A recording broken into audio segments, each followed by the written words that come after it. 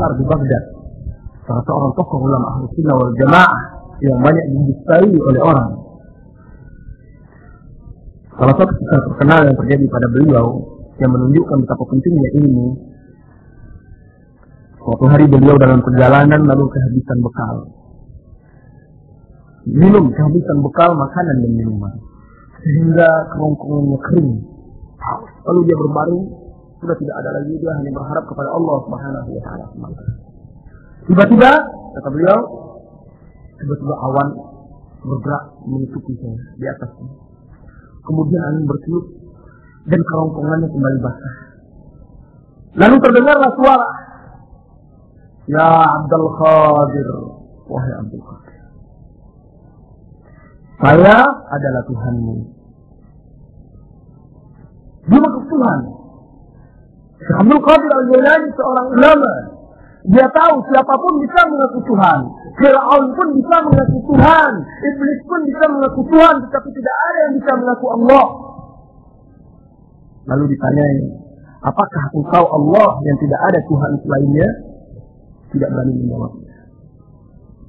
Iblis pun tidak akan berani mengaku kalau dia Allah.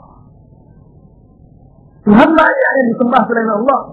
Ketika Allah yang ibadati satu-satunya hanya Berdiam. Lalu dia berkata lagi, Ya Abdul Qadir, wahai Abdul Qadir. Ya Abdul Qadir, aku adalah Tuhanmu. Mulai hari ini, aku halalkan semua perkara-perkara yang haram. Aku halalkan semua perkara-perkara yang haram. Lalu Abdul Qadir berlindung kepada Allah dari syaitan dan mengatakan engkau sesungguhnya adalah syaitan yang terkutuk dan penyiksa. Lalu pecahlah awan tersebut dan hilang. Ketika ditanyakan oleh murid-muridnya, bagaimana Imam, engkau tahu bahwa itu syaitan? Saya tahu karena dia mengatakan, mulai hari ini aku halalkan apa yang diharamkan. Itu mustahil. Karena agama Islam telah sempurna.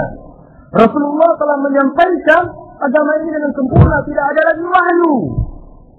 Setelah Rasulullah, bagaimana dia mengatakan aku halalkan seluruh yang haram itu adalah sebuah kedustaan. Apa yang membuat dia bisa terjaga? Ilmu. Kau memiliki tipu daya yang luar biasa. Bisa. Kalau setan tidak bisa menyesatkan manusia dengan kesyirikan, dia menyesatkan dengan jalan bid'ah. Kalau dia tidak bisa menyesatkan dengan bid'ah, dia menyesatkan dengan dosa besar. Kalau dia tidak bisa menyesatkan dengan dosa besar, dia sesatkan dengan dosa kecil.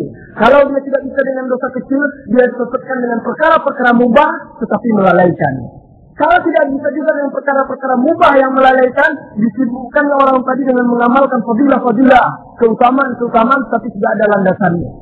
Kalau tidak bisa juga dengan itu dia masuk berikutnya, maka dia cari cara lain menghasut musuh-musuh orang tersebut untuk menikah dan menyakiti. Tahapan-tahapan setan iblis untuk menyesatkan manusia. Jadi banyak sekali caranya.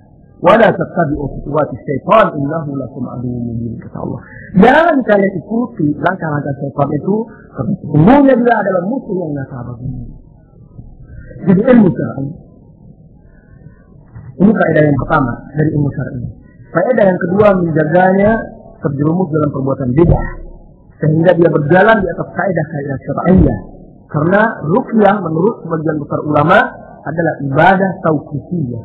Ibadah tauqifiyah yang baku yang telah ditetapkan oleh Rasulullah sallallahu alaihi wasallam.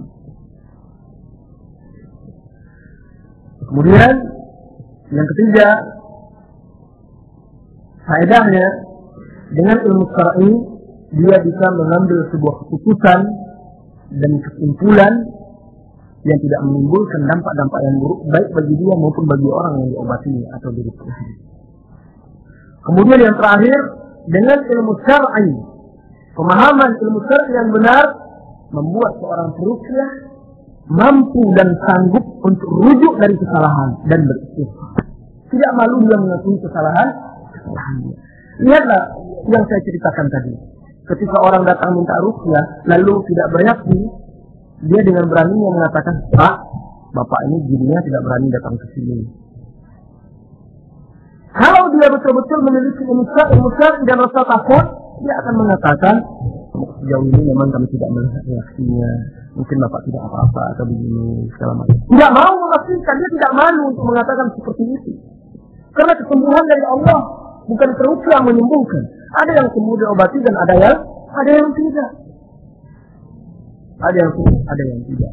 Oleh karena itu tidak perlu malu kalau seandainya orang yang di tidak sembuh. Mungkin belum sembuh hari itu, berikutnya di Rusia juga bisa sembuh. Mungkin tidak cara dengan itu, cara dengan yang lain. Mungkin di Rusia dengan orang lain bisa sembuh, bukan dengan kita. Karena Rusia juga merupakan doa. Dan doa itu ada penghalang-penghalangnya. Ada sebab-sebab doa itu tidak tidak dikabulkan. Nah, ini Musra'i membuat seorang perukia tidak malu untuk mengatakan tidak bisa. Tidak malu untuk mengatakan dia salah dan beristighfar kepada Allah Subhanahu wa taala. Karena dia merasakan betul rukyah adalah sebuah amanah, rukyah adalah sebuah tanggung jawab. Berkata Syekh Saleh bin Abdul Aziz Ali Asyik.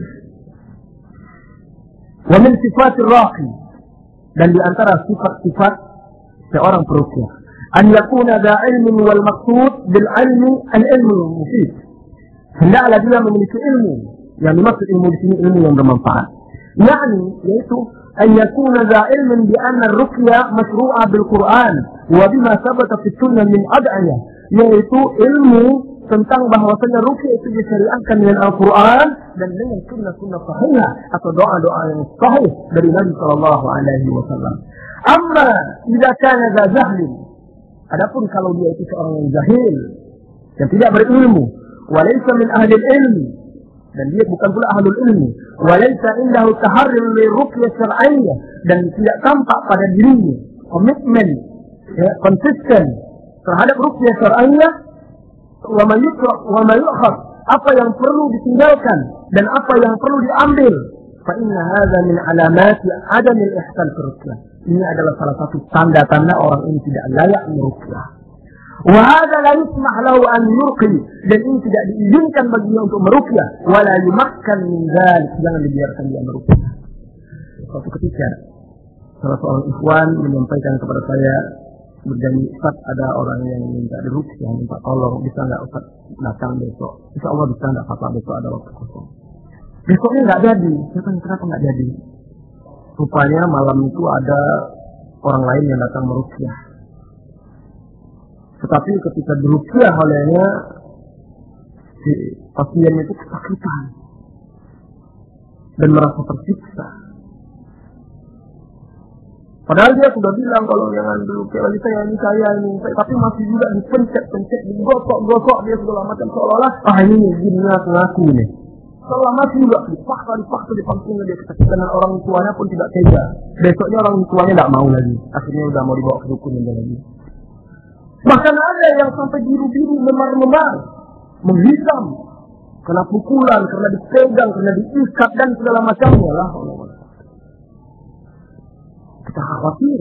Ini malah akan menimbulkan dampak yang tidak baik, image yang buruk di masyarakat terhadap para perukiah. Kemudian yang berikutnya ilmu yang perlu juga dimiliki ilmu syar'i masih termasuk dalam kategori ilmu syar'i tadi yaitu ilmu tentang Al-Quran. Bacaan-bacaan ayat Al-Quran.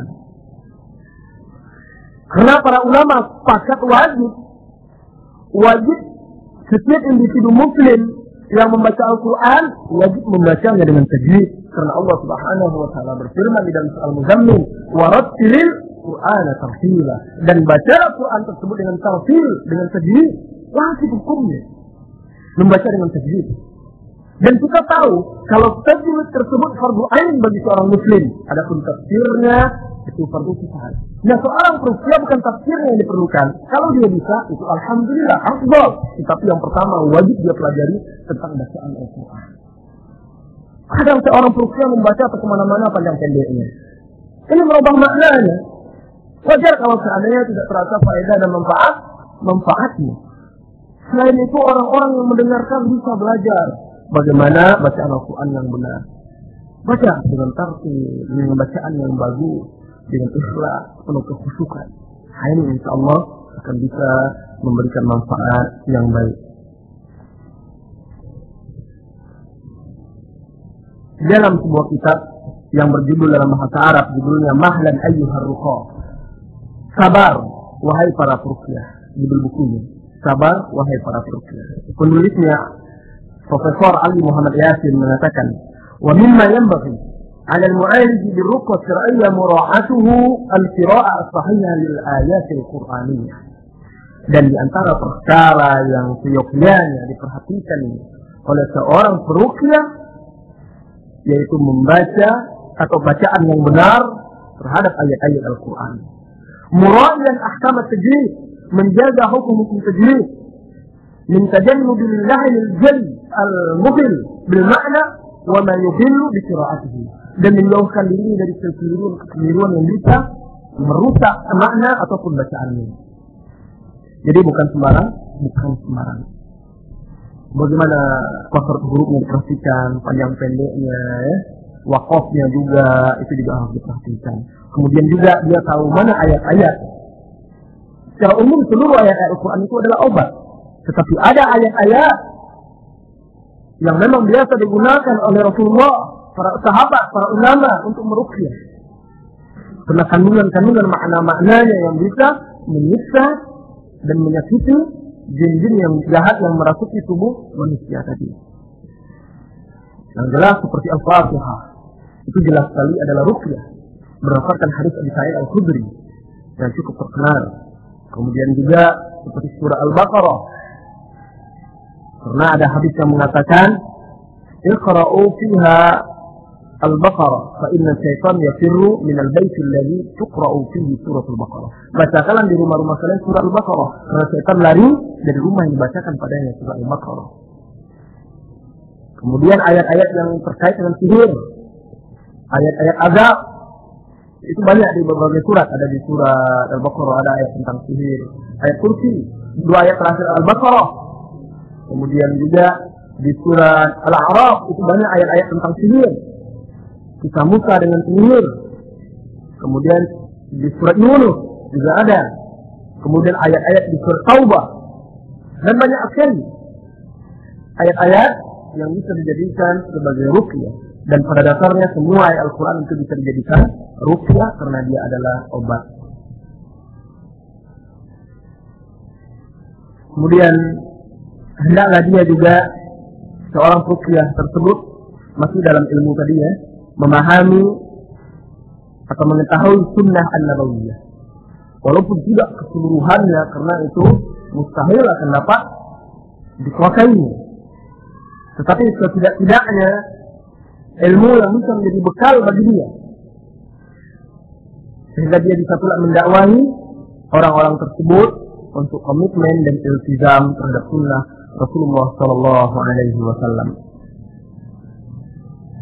Di dalam kitab Al-Nusbu wal Bayan fi Ilaj al-Ain wa Sihr wa Maksir Jan berkata Dr. Muhammad bin Abdul Qadir Hanadi dan Syekh Ismail bin Abdullah Ismail Al-Umari wa nuti ar-ruqa بالالتزام بالكتاب والسنة في جانب العقيدة والعبادة والمعاملة ونحذر من الوقوع في البدع لأن الرسول صلى الله عليه وسلم حذر منها في أحاديث كثيرة dan kami wasiatkan kepada perukia untuk senantiasa iltizam konsisten dengan Alkitab dan Sunnah dalam masalah sisi akidah, ibadah dan juga muamalah. Serta kami ingatkan agar mereka waspada terhadap bid'ah bid'ah karena Rasulullah Shallallahu Alaihi Wasallam telah mengingatkan kita agar mewaspadai perkara tersebut. Kemudian syarat yang berikutnya yang harus dimiliki oleh seorang perukyah setelah ilmu yaitu ikhlas niat mengikhlaskan niat dan amal lillahi subhanahu wa ta'ala. Apalagi rukyah adalah ibadah. Tidak boleh dia merukyah dengan mengharapkan pemberian orang-orang yang merukyah tidak boleh dia merukyah karena mengharapkan tujuan-tujuan duniawi bahkan tidak boleh dia menjual rukyah dengan harga harga duniawi. Karena ini adalah ibadah dan dibacakan adalah ayat-ayat Allah Subhanahu wa taala. Ayat Allah jauh lebih mulia untuk diperjualbelikan. Dan ibadah tidak akan diterima di Allah Subhanahu wa taala kecuali apabila dia ikhlas lillahi taala. Kemudian syarat berikutnya setelah ikhlas seorang perukia hendaklah dia memfokuskan penanaman masalah akidah as-sahihah. Hendaklah dia memfokuskan penanaman masalah akidah. Khususnya yang terkait dengan masalah perdukunan dan syirik. Itu harus dia fokuskan. Setiap kali seusai merukyah harus diakhiri dengan wasiat-wasiat seputar tauhid dan juga seputar syirik. Kemudian yang ketiga berpegang teguh dengan manhaj Alkitab dan Sunnah. Berpegang teguh dengan manhaj Kitab dan Sunnah.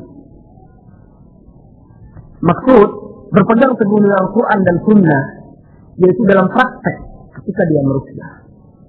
Harus dia betul-betul memahami bagaimana Rasulullah Shallallahu Alaihi Wasallam merukyah dan bagaimana para sahabat serta para ulama merukyah serta tidak menerapkan teks-teks atau nasna yang dia dapatkan dari sebagian ulama langsung dia terapkan 100% seperti yang dia dapatkan.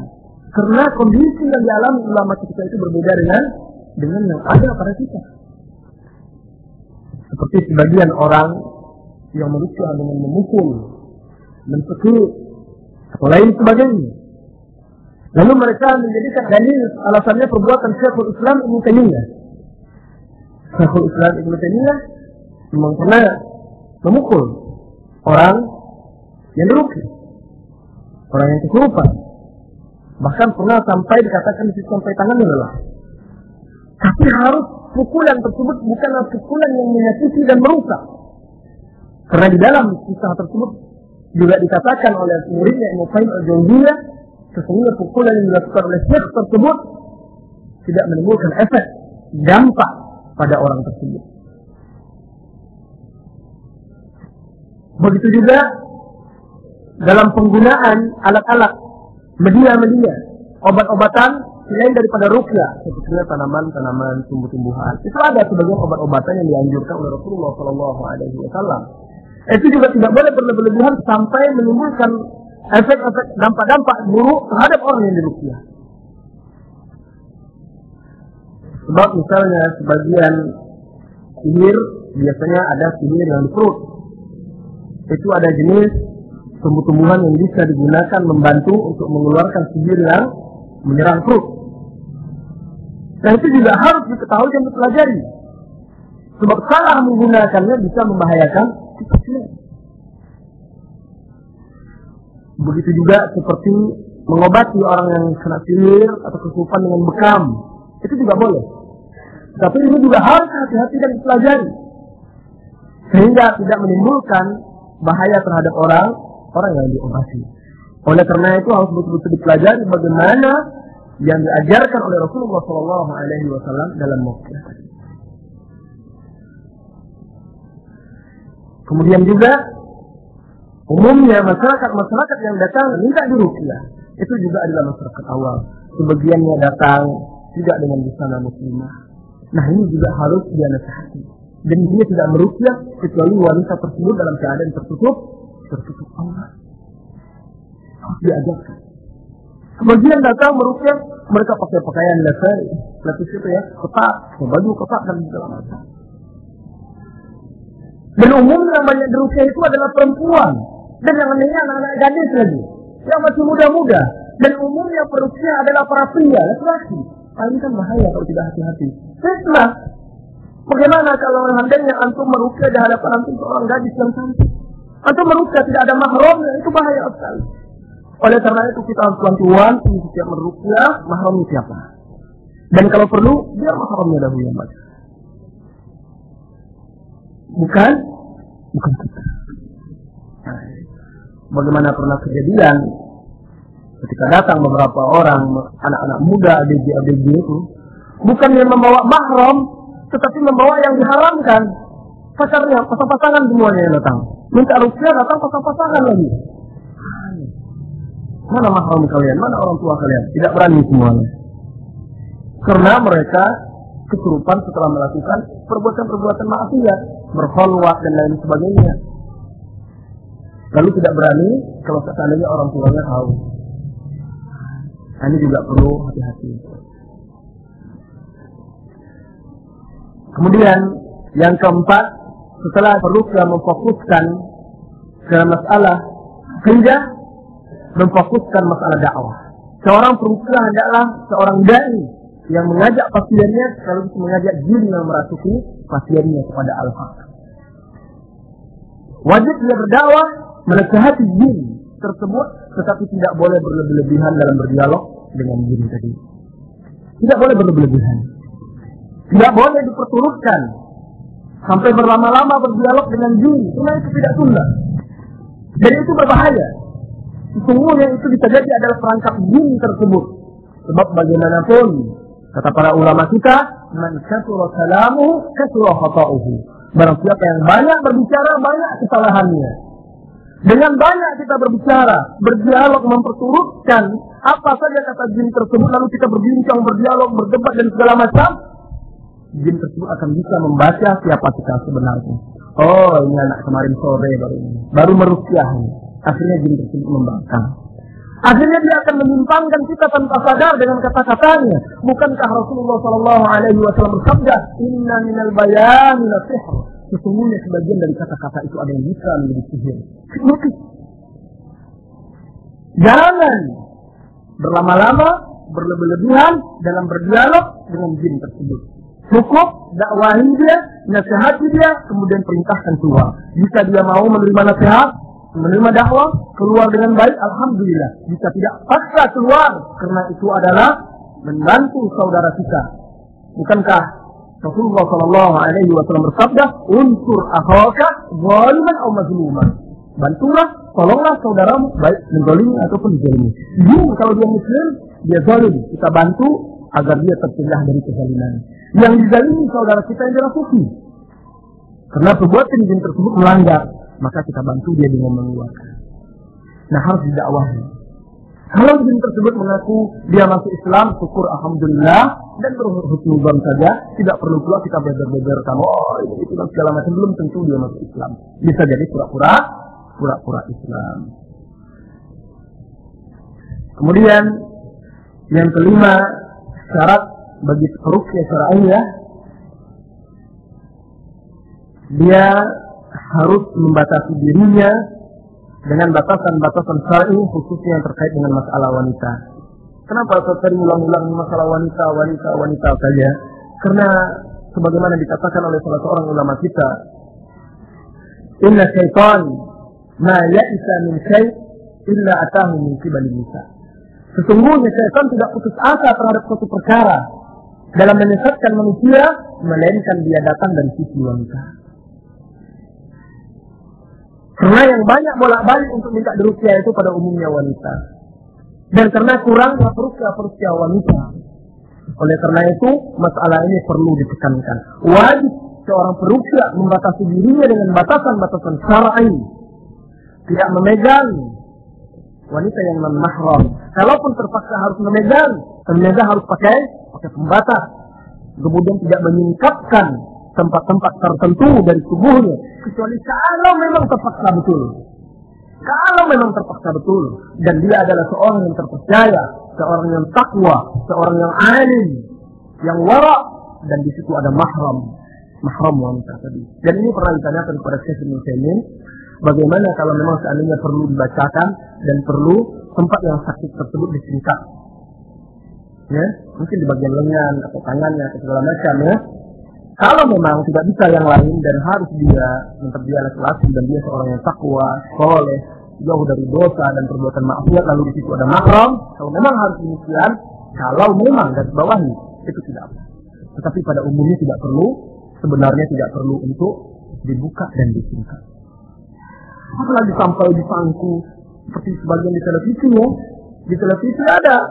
Pernah satu kali menyaksikan di televisi itu masal itu Jeruk ya kemudian ketika ada seorang ibu bereaksi, pertama ditanya kepada ustaz tersebut, kenapa ustaz pakai alas tangan ini ustaz? Dijelaskan bahwa kita tidak boleh menyentuh yang bukan mahram dan segala macam. Bagus. Karena memang Rasulullah Shallallahu Alaihi Wasallam bersabda, "La an ta'na ra'sa ahadikum bi ibratin min hadid, khairan minhu min an yamutta imra'atan la tahilla lahu." Jika salah seorang kalian ditusuk kepalanya dengan paku atau jarum besi itu adalah lebih baik baginya daripada menyentuh wanita yang tidak halal bagi. Hadis disahihkan oleh Syekh Al-Albani rahimahullah taala di dalam kitab Silsilah Hadis As-Sahih. Nah, ketika ditanya seperti itu dia menjawab karena kita tidak boleh menyentuh. Tapi aneh. Setelah ada perempuan tersebut yang bereaksi, lalu bergetar, gemetar-gemetar gitu, tiba-tiba anak buahnya, asisten-asistennya datang, lalu enak saja mengambil pundak ibu tersebut dan memangkukan di pangkuannya. Ini lebih fitnah lagi. Lebih berbahaya lagi. Mana batasan-batasan syar'i? Apa keharusannya yang harus dipangku? Kita bandingkan saja. Kalau tidak panggil mahramnya, mana mahramnya? Itu mahramnya yang memangkunya. Kenapa harus? Harus perukia. Nah, ini juga harus diwaspadai. Kemudian juga ikhtilat, bercampur baur. Ya, bercampur baur di situ antara laki-laki dan perempuan ketika berusia. Itu juga bukan bagian dari syar'i. Kemudian syarat berikutnya yang mesti dimiliki oleh seorang perukia syar'iyah selain dari beriltizam membatasi dirinya dengan batasan-batasan syar'i ini lebih spesifik lagi membentengi dirinya menjaga dirinya dari fitnah wanita. Sebisanya kalau dia merukyah tidak perlu melihat kepada wanita tadi apalagi matanya. Ya, tidak perlu melihat. Ghadul basar harus dia jaga. Allah Subhanahu wa taala berfirman di dalam Al-Qur'an di surat Al-Imran. Zuyyina lin-nas حب الشهوات من النساء والبنين والقناطير مقنطرة من الذهب والفضة والخيل musawwar dan seterusnya. Allah Subhanahu wa taala dijadikan dihiaskan linnas dijadikan indah kesukaan bagi manusia hubus syahawati kecintaan kepada syahwat. Baik terhadap wanita binita wal banin dan anak-anak dan seterusnya. Itu sudah naluri manusia menyukai wanita. Nah kalau dia tidak berhati-hati berbahaya. Kalau dia tidak berhati-hati kalaupun tidak tampak fitnah tersebut ketika itu setidaknya itu akan memfitnah dia di belakang itu. Setelah itu. Akan memfitnah dia setelah itu Rasulullah Shallallahu Alaihi Wasallam bersabda dalam hadis yang sahih diriwayatkan oleh Imam Ahmad, Muslim dan lain-lainnya dari sahabat Abu Sa'id Al-Khudri radhiyallahu anhu, "Wattaqun nisa fa inna awwala fitnah bani Israel kanat fil nisa." Bertakwalah kalian, takutlah kalian terhadap masalah wanita. Sesungguhnya fitnah yang pertama yang menimpa Bani Israel adalah fitnah wanita. Dan juga di dalam hadis lain yang dikeluarkan juga oleh Imam Ahmad, Bukhari dan lain sebagainya, Rasulullah Shallallahu Alaihi Wasallam bersabda, "Ma taraktu fil ba'di fitnah adarru 'ala rijal min nisa." Aku tidak tinggalkan pada manusia setelah fitnah yang lebih berbahaya bagi laki-laki kecuali fitnah wanita. Apalagi ketika di rukyah wanita biasanya menimbulkan reaksi-reaksi Begitu orang yang dirukyah menimbulkan reaksi-reaksi. Nah ketika itulah dibutuhkan raddul basar, dibutuhkan ketakwaan dan rukyah harus menjaga dirinya dari fitnah wanita. Pernah suatu ketika saya pergi merukyah ditemani oleh sebagian anak muda. Karena saya memang ingin mengajaknya supaya mereka belajar dan mengambil manfaat dan faedah dari itu. Ketika komentarnya kalau seorang dari mereka setelah pulang dari merukyah Rantak dulu Ustaz ya. Astagfirullah. Bahaya fitnah. Mungkin dia mengatakan, wah kenapa wanita secantik itu bisa kena kasukan pula. Tetapi itu sudah fitnah yang mengenai diri dia.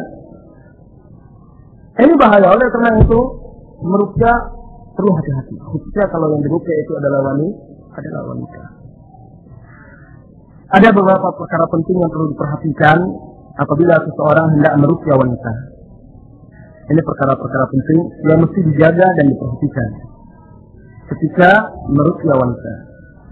Yang pertama, secara mutlak tidak berkhulwat dengan wanita tadi. Ini harus dijaga etika adab merukyah wanita. Tidak berkhulwat. Berkhulwat artinya berdua-duaan. Merukyah. Ini tidak boleh. Harus ada mahram atau di situ ada wanita-wanita lain atau ada orang-orang lain. Itu kalau dalam keadaan darurat. Tapi kalau berdua saja jangan. Karena itu berkhulwat dan melanggar hadis Rasulullah sallallahu alaihi wasallam, la yakhluwanna rajulun bimra'atin illa kana thalithuhuma syaitan. Tidaklah berkhulwat berdua-duaan pria dan wanita melainkan yang ketiganya adalah syaitan. Hadis sahih diriwayatkan oleh Imam Ahmad, At-Tirmidzi dan dinyatakan sahih oleh Syekh Al-Albani rahimahullahu taala. Al-Imam As-Sawkani menyebutkan alasan kenapa diharamkannya berkhulwat. Kata beliau, wa ayat tahrim ma fil hadis min qawl syaitan salisuhuma wa huduruhu yuqihuma fil ma'siyah. Alasan pengharaman ini karena yang ketiganya adalah syaitan. Kehadiran syaitan di antara dua orang yang non ini bisa menjerumuskan mereka ke dalam perbuatan maksiat. Ke dalam perbuatan maksiat. Dan juga para wanita-wanita yang hendak pergi di rukyah Janganlah pergi kecuali bersama mahram. Janganlah pergi kecuali ditemani oleh orang tua atau mahram. Karena akan menimbulkan fitnah. Kalau tidak yang perusia yang terfitnah, wanita tersebut akan terfitnah kepada yang merusia. Sebab wanita juga manusia, punya perasaan. Ketika dia merasa diperhatikan, merasa ini, itu, dan segala macam, dia merasa terfitnah pula dengan dengan perusia. Bahkan ada di antara orang yang dirukyah itu memang karena ini dilihat, diperhatikan saja. Eh itu ada. Ah, ini dituturkan oleh salah seorang yang merukyah juga. Ternyata perempuan tersebut hanya ingin dilihat-lihat, di, diperhatikan dan segala macam. Hanya fitnah. Oleh karena itu berhati-hati. Kemudian perkara yang berikutnya yang mesti diperhatikan ketika merukyah seorang wanita tidak melihat ke mata wanita tersebut ketika merukyah. Tidak melihat matanya. Tidak melihat mata wanita tersebut ketika dirukyah. Karena mata adalah posnya zina. Berawal dari berawal dari mata, kemudian muncul di pikiran, di benak, kemudian akan terangan-angan dan terbayang, kemudian berlanjut dengan sikap-sikap yang lainnya, na'udzubillah. Kemudian masalah yang berikutnya, tidak berlebihan melampaui batas dalam berbicara dengan wanita yang sakit tadi. Bertanya sekedarnya, bertanya sekedarnya, dan menasihati sewajarnya. Tidak berlebihan.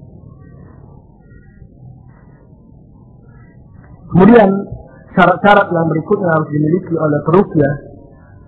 Seorang perukia harus menjelaskan kepada orang yang dirukyah sebab-sebab setan atau sebab-sebab yang bisa menyebabkan setan menguasai manusia. Itu harus dijelaskan. Kenapa setan bisa merasuki manusia? Kenapa setan bisa menyakiti manusia? Kenapa jin-jin tersebut mengganggu manusia? Itu harus dia jelaskan. Karena sesungguhnya seorang perukia tidak obati seorang dokter. Ketika seorang dokter mengobati pasiennya, dia akan menjelaskan Anda sakit ini. Penyebabnya ini, ini, ini, ini. Oleh karena itu, Anda harus hindari yang seperti ini. Tidak boleh begini, tidak boleh begitu. Dan Anda harus jaga pantangan-pantangan ini. Itu biasanya dok, dokter. Nah ini juga dokter. Dan dokter yang lebih penting lagi daripada sekedar dokter biasa. Dia harus hati. Sebab-sebab pintu-pintu masuk setan. Seperti jauhi maksiat. Ini maksiat. Ketika datang orang-orang yang minta rukyah waktu itu, anak-anak muda yang pernah saya ceritakan itu, anak-anak SMA yang datang berpasang-pasangan minta rukyah, setelah selesai demikian mereka bertanya, Ustaz, ada tidak kemungkinan kembali jin tersebut mengganggu kami? Ya, jika kalian tidak bertobat, tidak kembali kepada Allah, tidak merubah diri, tidak menjaga diri kalian, jin tersebut akan kembali kepada kalian. Dan akan menyakiti dan akan terus merasuki kalian. Kalaupun tidak tubuh kalian dirasuki, otak kalian akan dirasuki. Sesungguhnya orang yang berbuat maksiat adalah orang yang dirasuk, dirasuki juga oleh syaitan. Jadi, jelaskan pintu-pintu masuk syaitan tersebut. Maksiat-maksiat dan kemungkaran-kemungkaran itu pintu masuk syaitan. Kemudian jauh dari zikir dan ibadah. Itu juga pintu masuk syaitan. Sering menyendiri, berkhayal, itu juga pintu pintu masuk syaitan. Ajarkan dia supaya berzikir. Ketika masuk ke WC berzikir, ketika terkejut berzikir, ketika ke tempat-tempat sepi berzikir, dan segala macamnya. Ajarkan zikir-zikir. Nasihatkan supaya dia beristigam dengan dengan zikir-zikir tersebut. Kemudian yang berikutnya yakin, wasiqah dan percaya dengan pertolongan Allah Subhanahu wa taala. Harus yakin sepenuhnya seorang perukyah, tidak boleh ragu. Rukyah itu sesungguhnya adalah senjata. Betapapun ampuh dan canggihnya senjata tersebut, kalau kita ragu terhadap kehebatannya, setengah-setengah ketika kita merukyah, itu juga tidak akan memberikan hasil atau faedah yang besar dan buah yang kita yang kita inginkan. Apa yakin yang dimaksud di sini? Syekhul Islam Ibnu Taimiyah menjelaskan tentang yakin ini. Kata beliau, wa amal yakin. Adapun yang dimaksud dengan yakin di sini, bahwa tuma'ninatul qalb wa istiqrarul ilmi fihi. Yang dimaksud dengan yakin di sini adalah tuma'ninatul qalb, ketenteraman hati. Keyakinan, ketenangan hati kita. Dan ketetapan ilmu di hati kita. Bahwa kita betul-betul yakin Allah akan menolong orang-orang yang menolongnya. Bahwa kita betul-betul yakin bahwasanya segala sesuatu itu telah ditakdirkan dan ditentukan oleh Allah Subhanahu wa taala. Kita betul-betul yakin semua makhluk jika mereka bergabung bersatu padu untuk mencelakakan dan membahayakan kita, sama sekali mereka tidak akan bisa mencelakakan dan membahayakan kecuali sebatas yang telah ditentukan dan ditakdirkan oleh Allah. Sebagaimana kita yakin perukiah tadi, bahwasanya kalau dia juga seluruh orang bersatu padu bergabung untuk membantu merukiah orang tadi, itu juga tidak akan memberikan manfaat kecuali sebatas yang telah ditentukan oleh Allah. Penyerahan diri yang mutlak kepada Allah Subhanahu wa taala. Ini ini membuat doa akan dikabulkan oleh Allah Subhanahu wa taala.